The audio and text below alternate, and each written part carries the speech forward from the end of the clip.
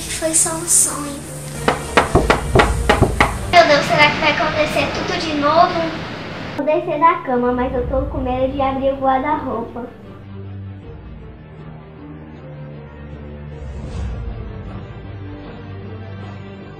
Oh meu Deus, será que eu abro ou não abro?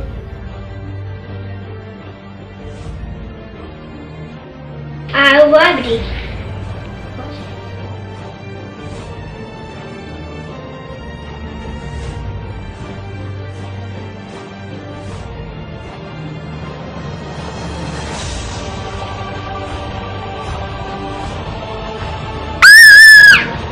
Preciso muito de você. Como assim? Preciso me libertar. Ser uma nova pessoa. Só você pode me ajudar.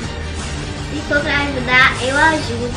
A gente vai conversar e tem essa noite. Podemos conversar agora?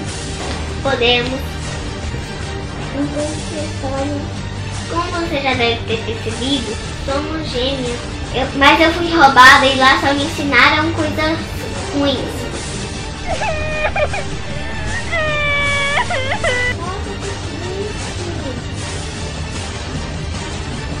Você pode me ajudar porque eu fui enfeitiçada. Como faço isso? Você deverá me convencer a fazer três coisas boas, mas só até amanhã à noite. Senão o feitiço não vai terminar nunca. Já vou te dizer que não é fácil, mas eu preciso da sua ajuda. Nossa, então eu já vou pensar em alguma coisa. Tá, mas tem que ser rápida, garota. Ok, mas não precisa falar assim. A mamãe não pode saber que você está aqui. Eu não tenho um lugar para dormir.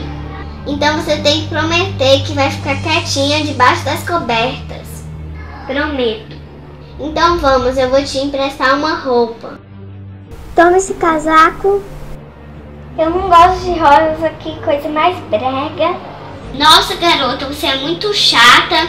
Nem vou mais te ajudar. Por favor, me ajuda. E aí, galerinha? Vocês estão gostando da novelinha? Deixe gostei. E se vocês acham que ela deve ser ajudada? Sim ou não? Coloque nos comentários. E deixe like, se inscreva no canal. E quem gosta muito, me ajuda a conseguir um milhão, que é o meu sonho. Se você ainda não é meu amiguinho, eu vou te ensinar como é que faz. Esse botão é aqui, inscrever. Você clica, depois ativa o sininho. É só isso, facinho, né?